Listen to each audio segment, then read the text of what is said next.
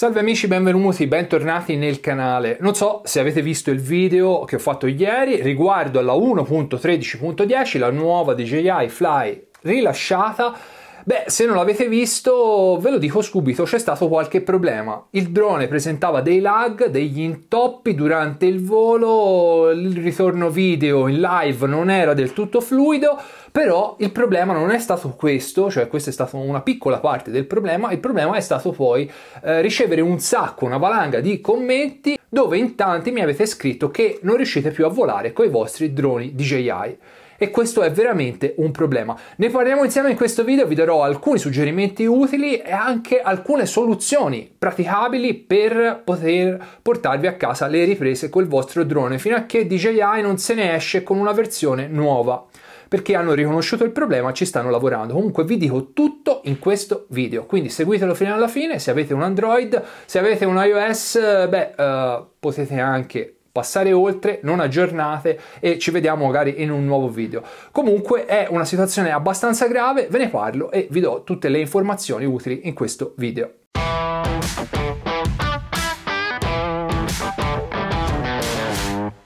Parliamo del test che ho fatto con la nuova versione, la 1.13.10, la nuova DJI Fly rilasciata due giorni fa circa con uh, il mio iPhone 13 Pro Max ieri sera ho fatto un test, l'ho provata e l'ho condiviso nel mio canale YouTube.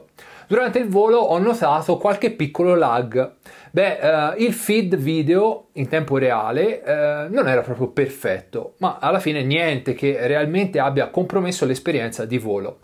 Tutto sommato il volo è stato stabile, l'applicazione non si è mai bloccata e sono riuscito a completare il test senza grossi problemi, senza grossi intoppi. Però è importante dire che per chi usa iPhone o altro dispositivo iOS la versione 1.13.10 sembra essere compatibile e funzionante, con qualche piccola imperfezione come lag occasionali che potrebbero dipendere da vari fattori come la qualità della connessione o le condizioni meteorologiche, ma la situazione è ben diversa per chi usa un dispositivo Android, come hanno segnalato molti di voi nel mio canale e eh, sul forum di DJI.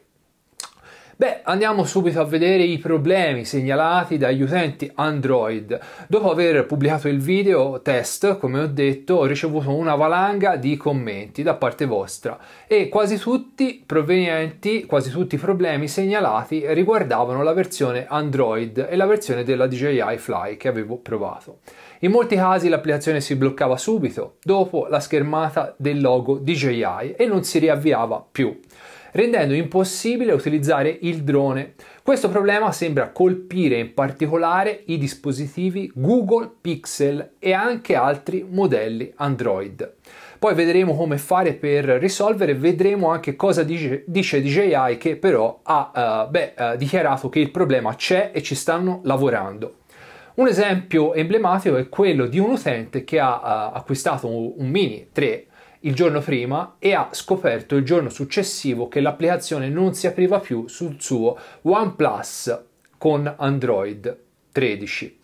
Eh, beh, eh, tutto funzionava perfettamente, ma una volta eh, fatta partire l'applicazione ha smesso di eh, funzionare, ha smesso di rispondere. Un altro utente con un Pixel 6 ha eh, riportato che dopo aver disinstallato l'applicazione questa non si installava più correttamente. Ci sono molti altri casi simili. Uh, beh, un utente con Pixel 4 mi ha raccontato che l'applicazione funzionava bene fino a pochi giorni fa, ma poi dopo si è chiusa e non si è più riaperta. I commenti riportano problemi su dispositivi come il Pixel 7 Pro con Android 14, il Realme GT2 Pro e persino su uh, dispositivi aggiornati alle ultime versioni di Android come il Pixel 8 Pro anche altri utenti con Xiaomi stanno riscontrando problemi simili. La situazione sembra comunque diffusa, il che suggerisce che ci sia un problema serio di compatibilità tra l'ultima versione dell'applicazione e il sistema operativo Android. In un caso un utente ha persino detto di essere in vacanza e di non poter più utilizzare il proprio drone perché l'applicazione non si avvia più. Beh, questo è frustrante sicuramente, specialmente considerando uh, quanto abbiamo investito in questi dispositivi per poterli usare in situazioni speciali come le vacanze. Andiamo a vedere cosa dice DJI. Naturalmente vi lascerò un link al forum ufficiale, magari se avete voglia guardatelo, leggetevi tutti i commenti. Io ho riassunto un po' quello che è la posizione DJI al momento.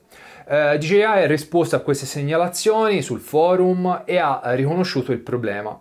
Hanno confermato che molti utenti Android, in particolare quelli con i dispositivi Google Pixel, stanno riscontrando difficoltà nell'aprire l'applicazione DJI Fly.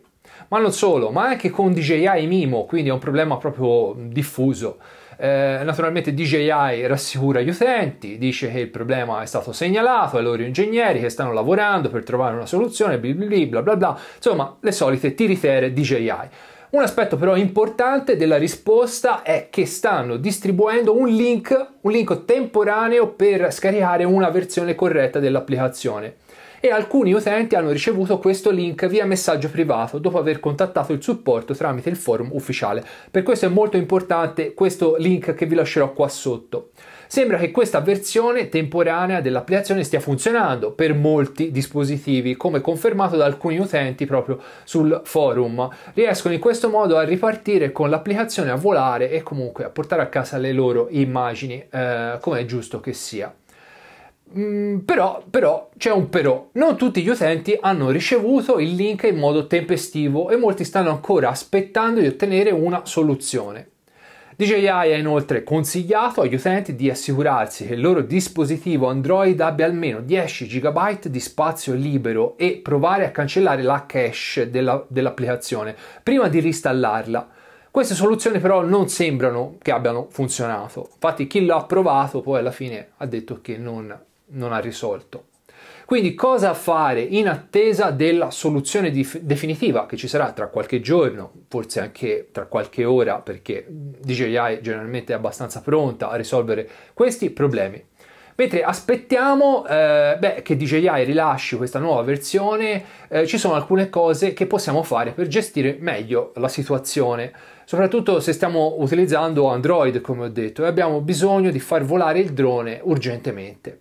Beh, eh, contattare eh, DJI sul forum per farsi mandare il link temporaneo, il link dell'applicazione temporanea. Se l'applicazione non si avvia, questo è il consiglio che vi do. Eh, DJI sta fornendo appunto questo pacchetto temporaneo per risolvere il problema su molti dispositivi, tra cui, come ho detto, il Pixel è uno di quelli più uh, colpiti da questo problema. Beh, eh, se ancora però hai iscritto a DJI e non hai ricevuto il link, ti consiglio di inviare un messaggio al supporto eh, tecnico sul forum spiegando la situazione. Quindi non basta scrivere la mail, magari scrivete anche sul forum, lamentatevi, lamentiamoci un po' che risolvano questo problema. Inoltre assicurarsi di avere uno spazio sufficiente, come ho detto 10 GB di spazio libero e provare a cancellare la cache di dati dell'applicazione prima di reinstallarla nuovamente. Un'altra cosa da poter fare è provare a disabilitare gli aggiornamenti di sicurezza uh, di Android. In alcuni casi uh, alcuni utenti hanno riscontrato uh, che questa procedura funziona. Dopo aver fatto questa procedura sono riusciti poi a volare con i loro droni. Quindi temporaneamente blocchiamo gli aggiornamenti automatici del sistema operativo per evitare problemi. Beh, se avete un drone precedente a questo come un Mini 2, un Air 2, un Air 2S, un altro consiglio che vi do è quello di provare applicazioni di terze parti. Lici, ad esempio, tra le prime, Maven, ne ho provate un sacco, trovate un sacco di video qui nel mio canale. Con i dispositivi più datati, con gli SDK rilasciati, in questo modo, beh, voliamo, voliamo anche se non con la DJI Fly, però portiamo a casa le nostre riprese. Beh, mm, vi consiglio di mantenervi aggiornati sulla situazione, monitorare eh, il forum eh, DJI, eh, beh, iscrivetevi al mio canale YouTube perché sicuramente poi annuncerò la nuova versione, la proverò e vi darò anche notizie su come va. Se hanno risolto non solo il problema di compatibilità con i pixel, con i Google Pixel, alcuni dispositivi marcati, brandizzati Google, però uh, se hanno risolto anche i problemi di lag, perché ce ne sono stati un sacco che mi ha proprio proprio mi hanno scritto e mi hanno detto anche in privato, Davide, va male, questa applicazione non va bene. Bene, eh, io direi a questo punto andiamo alle conclusioni e eh, beh, infine cosa dire? Questa 1.13.10 funziona abbastanza bene con iOS, vi consiglio di non installarla comunque perché eh, prima guardatevi anche il test che ho fatto e poi decidete tranquillamente, ma io vi consiglio di non metterla al momento. Sappiamo che DJI ha riconosciuto il problema, che ci sta lavorando su per trovare una soluzione. Nel frattempo, se abbiamo già installato la nuova versione, il, uh, il, drone non funziona più, cioè non possiamo più far partire l'applicazione, seguite la procedura che vi ho appena detto. Se nulla va bene, scrivete al supporto tecnico DJI tramite il forum, trovate i contatti nel forum ai tecnici DJI che vi manderanno questa applicazione temporanea per portare a casa delle riprese. Naturalmente sarà una versione un po' fatta di corsa, quindi non è il caso di tenerla su per tanto tempo. Aspettiamo l'aggiornamento, però questa è l'unica soluzione che c'è al momento. Aspettando che DJI riesca a risolvere questo problema rapidamente, io vi ringrazio dell'attenzione, scrivetemi come vi siete trovati, Beh, teniamoci in contatto e rimanete sintonizzati al canale, ci saranno sicuramente aggiornamenti. Vi saluto, una buona serata a tutti, alla prossima, ciao!